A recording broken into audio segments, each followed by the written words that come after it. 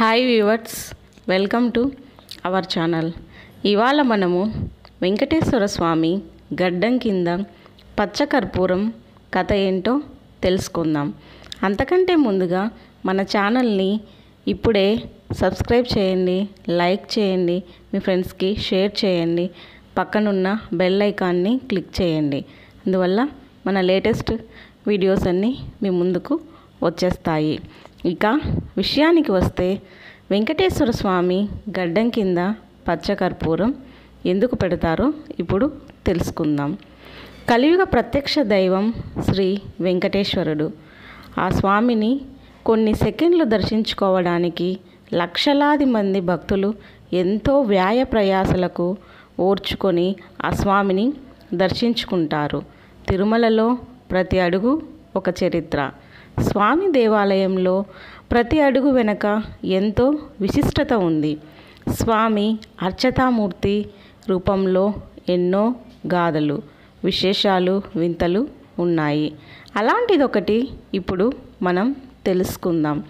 శ్రీవారి గడ్డం కింద నిత్యం పచ్చకర్పూరంతో అలంకరిస్తారు. దానికి కారణమేంటో తెలుసా?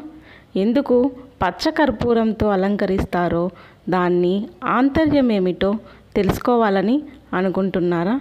అయితే ఇక్కడ ఇప్పుడు వినండి. శ్రీవారి భక్తులలో అగ్రగణ్యుడు అనంతయ్య అనగా అనంతల్వారు. ఆ శ్రీవారికి సేవ చేస్తూ తరించిన భక్తుడు శ్రీ అనంతల్వార్. ఇతను శ్రీవారి కొండ వెనుక భాగంలో నివసించేవాడు ఈయన ప్రతిరోజు స్వామివారికి భక్తి శ్రద్ధలతో పూలమాలలు సమర్పించేవాడు ఆయన ఒకరోజు పూల తోటను పెంచాలని నిర్ణయించుకుంటారు. పూల తోటను పెంచాలని నిర్ణయానికి వచ్చిన తర్వాత పూల తోట పెంపకానికి సరిపడ నీరు కోసం ఒక చెరువును తవ్వాలని నిర్ణయించుకొని మొదలు పెడతాడు. ఇతరుల సహాయం తీసుకోకుండా భార్యాభర్తలు ఇద్దరూ కలిసి చెరువును త్రవ్వాలని నిర్ణయించుకొని ఆరంభిస్తారు. చెరువు తవ్వే సమయంలో అలంతర్వార్యుని భార్య నిండు చూలాలు. అతను గడ్డపారతో మట్టిని త్రవ్వి ఇస్తే ఆమె గంపలోకి ఎత్తి దూరంగా పడవేసేది.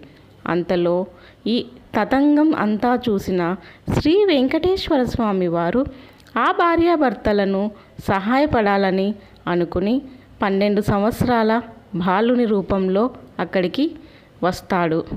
గర్భిణీగా ఉన్న ఆమెకు సాయం చేస్తానని చెప్పి ఆ మట్టిని నేను పారబోస్తా అంటాడు. దానికి అనంతల్వారు ఒప్పుకోరు. కానీ అతని భార్య అంగీకరించడంతో బాలుడు ఆమెకు సహాయం చేస్తాడు. ఆమె భర్తకు తెలియకుండా మట్టి తట్టని తీసుకెళ్ళి ఇస్తే ఆ బాలుడు దూరంగా వేసి వచ్చేవాడు. ఆమె మట్టి తట్టని తీసుకెళ్ళి తొందరగా రావడం గ్రహించిన అనంతల్వారులు భార్యని ప్రశ్నించగా ఆమె బాలుని సహాయం తీసుకుందని చెప్తుంది. దాంతో అతడు ఆగ్రహానికి గురవుతాడు. అనంతల్వారులు కోపంతో చేతిలో ఉన్న గుణపాన్ని ఆ బాలుని మీదికి విసులుతాడు అది ఆ బాలుడు గడ్డానికి తగులుతుంది. దాంతో ఆ బాలుడు రూపంలో ఉన్న వెంకటేశ్వర స్వామి వారు ఆనంద నిలయంలోకి వెళ్ళి కనబడకుండా మాయం అయిపోతాడు. ఆలయంలో అర్చకులు స్వామివారి విగ్రహానికి గడ్డం కింద రక్తం కారడం చూసి ఆశ్చర్యపోయి ఆ విషయాన్ని అనంతల్వారుకు చెప్తారు. దాంతో కంగారుగా అతడు అక్కడికి చేరుకుంటాడు. గర్భగుడిలో ఉన్న శ్రీవారి గడ్డం నుండి రక్తం కారడం చూసి ఆశ్చర్యపోతాడు. తమకి సహాయం చేయడానికి వచ్చిన బాలుడు సాక్షాత్తు శ్రీ వెంకటేశ్వర స్వామి వారే అని గ్రహించి కన్నీళ్ళతో స్వామివారిని మన్నించమని కోరుతూ పాదాలపై పడతాడు. గాయం వలన కలిగిన బాధ నుండి ఉపశమనం పొందడానికి గడ్డం దగ్గర పచ్చకర్పూరం అద్దుతాడు. అప్పటి నుండి రోజు చల్లదనం కోసం గాయంపై చందనం రాసి ఆ తర్వాత పచ్చకర్పూరం పెట్టేవాడు. అప్పటి నుండి శ్రీవారి గడ్డంపై రోజు పచ్చకర్పూరం రాయడం ఆచారంగా మారిపోయింది. శ్రీవారిని గాయపరిచిన గుణపాన్ని ఇప్పటికీ మనం మహద్వారం దాటిన తర్వాత కుడివైపు గోడకు వేలాడుతూ ఉండడం చూడవచ్చు. అదండి స్వామివారి గడ్డం కింద పచ్చకర్పూరం గాథ ఈసారి స్వామిని దర్శించుకున్నప్పుడు ఒకసారి ఈ గాథను గుర్తు చేసుకోండి. స్వామివారికి తన భక్తుల గాథను తలుచుకుంటే మరింత సంతోషించి మీకు సులభంగా ప్రసన్నమవుతాడు. ఇదండి శ్రీ వెంకటేశ్వర స్వామికి రోజు గడ్డంపై పచ్చకర్పూరం రాయడం వెనుక ఉన్న రహస్యం.